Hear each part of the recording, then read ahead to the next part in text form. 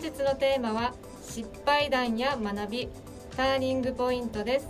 それでは NC 比嘉さんお願いします。今日もあなたにイノベーションよろしくお願いします。えー、昨日から、えー、来てくださってる、えー、その会社で事務業をされている、えー、ミッチーさんです。よろしくお願いします。はいよろしくお願いします。ミッチーです。出るかなと思ったのに。まだ早いな。まだ早い。あの明日明後日どっちかから出るかもしれないですね、はいというところで、まあ、初日ですね3つのポイントで趣味えーブラック企業人事を尽くし天命を待つというところでラベリングを矢賀地島ラブというところで、えーさせていただきました。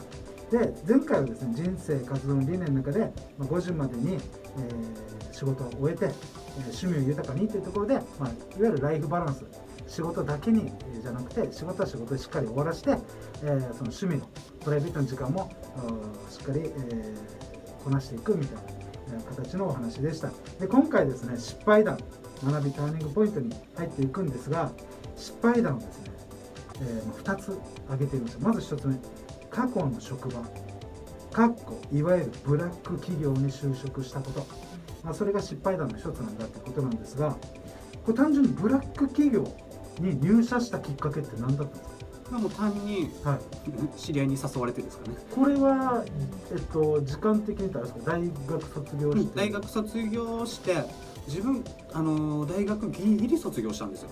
えっと、ギリギリ単位なんですよ、単位なんですよ。1年2年遊びすぎて、はい。3年4年思いっきり頑張ってギリギリ卒業できたんですよ。あのえっと別チャンネルであのミッチーさんその話聞いたんですけど あの鬼のように遊んで鬼のようにあの課題、えー単位取るためにむっちゃ時間追われて何単位でしたっけ？むちゃくちゃじ4年生でみんなあのストレートではい。みんな行くと多分4単位とか、はい。本当にゼミ受けたら終わりですだと思うんですけど、はい。48単位で残してた。あの4年生が一番学校行きましたね。お前ですね なので就活してなかったんですよ、ああなるほど。その青その影響で。はいはそして就活しないまま卒業して、い、うん。そうするとあの大学の先輩うん。知り合いの方に、あの今人足りてないから来ないみたいな感じですね。これちなみに本土ですか？で沖縄那覇です。あ那覇で。ああはいはい那覇で働いて最初那覇で働くことをちょっと楽しみにしてたんですよ。はい。なぜかというと僕が今名護市民だから。まあ、ちょっと那覇ってどんな感じかなって感じだったんですけどちょっと思ったものとは違いましたね、これえっとなんだろう。会社名はいいんですけどはい、何業だったんですか？コンサル業にコンサル業、はいこれで、まあ、ちょうど前回ちらっと出たんですけどまあ朝し7時に出勤して朝方3時までやるっていう、これ日常的にこんな感じだった日常的に出張も多い会社だったので、はい。また、えっと、ちょっと違うスケジュールもあるんですけど本当に毎日が違うスケジュールでへただ定時に帰ったことはほぼないです。確実に結婚とかしてられないですよ。あの結婚とか彼女に逃げられました 逃げられたっていうかね、まあまあまあちょっと悪かったとこもあったんでしょうけど。ええまあ、そんなブラック企業まあ入ったのは、まあ、誘われたってことなんですけど、まあ、実際どういうなんだろう働き方だったんですかこれも前回ちょうどちょっと出たんですけうん多分その会社自体が、い。あの定時に帰るとかっていうのもはい。経験がもう第一だよっていう会社だったのでたくさん経験しろたくさん経験しろこれに置いてこいみたいな。ど 思いっきり体育会系ですよね、って感じだったので、はい。それで慣れてしまって自分の多分あの脳みそもバグってたんでしょうね。それが当たり前化してたんですよ。あただ、まあ、脳みそも頑張った結果心が多分ついていかなくなってもうあ最後とかもう辞める寸前ですかね。はい。もう職場に行く前に一回ゲロって。完全にうつがうってないですよね。本当にでもそれってあの自分が初めてそういうことになると気づかないもんで、それがうつとかも気づかないんですよもう当たり前すぎて。当たり前。この状況が。あでふと気づいた時にあこれやばい状態だなと思ってこれはそのまだ辞める前に気づいたんですか？やばいって。そうですねそうですね、あ、普通じゃねえなって。あの普通じゃねえなへえー、これはちょっときつかったですね。今考えてもきついですね。これちなみにどうやって立ち直ったんですかいやもう辞めたら立ち直りましたやっぱりその環境はものすごく自分にとって負荷が高かったってことですようん、すぐパッと切り替えましたね。へえパッっていうのが多分1か月ぐらいだと思いますけど。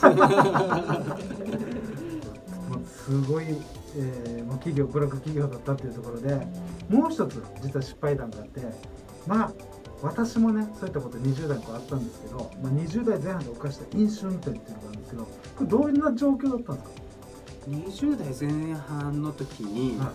あの居酒屋で飲んでたらはい。急に、ね、飲み終わってですね、はい。あの急にヤギ汁が食べたくなって えっと、沖縄でヤギ汁ってまあまあポピュラーなんですけど、お祝いとか出てくるんですけどそのヤギ汁ですね。そう。例の。はい。例のヤギ汁を飲みたいなと思って、はい。で友達とちょっと電話をして、はい。じゃあ集合はヤギ汁があるお店集合なんて、そうするとちょっとあんまりタクシーがすぐ通るような場所じゃなかったのでなるでもまあ300メーター300メーターじゃないな、まあ、500メーターぐらいですか、はい。ねなんでまあうん行けるかと思って車乗ったは100メートル100メートル後ぐらいにはもうピーポーピーポーピーポ完全に狙ってました。たってことですね。ああなるほどね。食べヤギ汁食べたくなって。100メーター先に行くのもまあちょっと足がねえなどうしようかなって時に乗っちゃったってことですこの時はあこれは終わったなってもうこのルームミラーで見えるんですよ。このパトカーが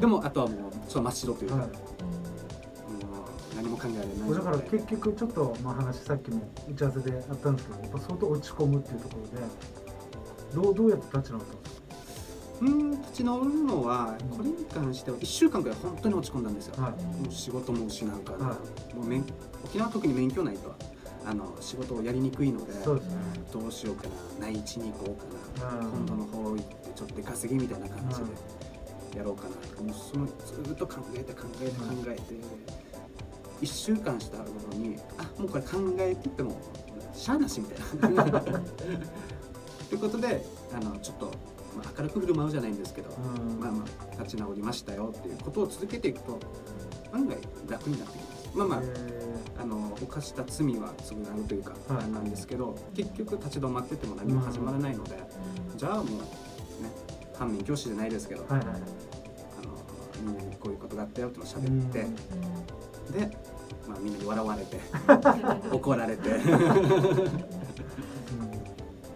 まあ、そんなミッチーさんですけど学びターニングポイントも結局まあそういったところから、えーまあ、今反面教師であったんですけどこのブラック企業に入ることで今はもうやっぱりこの学べたことって逆にあったと思うんですけどそこで一番なんか学んだことってどんなことだったんです学んだことっていうのはこのやっぱり、えっと、自分の体と相談することも大事だなと思っていて、うん。本当にきついっていう信号は体とか出してると思うんですよ。か自分の場合だとこの仕事に行く時に、あのちょっと吐いたりだとか、うん。もう頭が痛いもう行きたくないってうんいう時絶対あると思うんですよ。その体のこのシグナルというか、うん。それに早めに気づいてこれもまた断る力断る力あのうん。先週話した、はい。うんあ先週じゃない か前前回話した、うん。えっとものとは別ちょっと近いもの逃げる力とかもまた、うん。死んだら元も子もないので。たまにあると思う過労死だったりとか、そういうのもあると思うので死んだら元も子もないので逃げてもいいんじゃないかなって思いますけどね。なんかねあのなんで昭和系の我々からするとその当時の風潮でやっぱり今でも全然あると思うんですけど我慢すべしとか きついそんなの根性が足りんとかいわうんゆる根性論ですね。石の上に3連で実はそれはもう千差万別でもちろんそれができる人もいればできない人もいるわけ。でグラデーションじゃないですか。人それぞれで。だからやっぱり自分とちゃんと向き合いながら無理のものは無理っていうところでやんないといけないですよね。あのやっぱりみちさんも自分がそういう一回なんだろう自分に降りかかってるので余計それを感じて。るだって足折れた人にダッシュしてって言わないじゃないですか。心も怪我するわけです。よ同じことですよね。はい、というところで、まあ、今週はですねそのいわゆる失敗談で、まあ、ブラック企業であったあで就職してたえ辛い時期の話とか、え20代前半で、ま、犯してしまったその飲酒運転とかですね、えそういったところから、ま、学びで、えその自分の心としっかり向き合いながら、え仕事とか、ま、そういったことをやっていきますというような話でしたね。はい、LSM プロジェクトのホームページではラジオの過去放送や YouTube 動画オリジナルグッズがあります。今回出演されたミッチーさんの「証拠ノスタルジー」という番組もありますので LSN プロジェクトとはで検索お願いします。本日は以上になります。See you!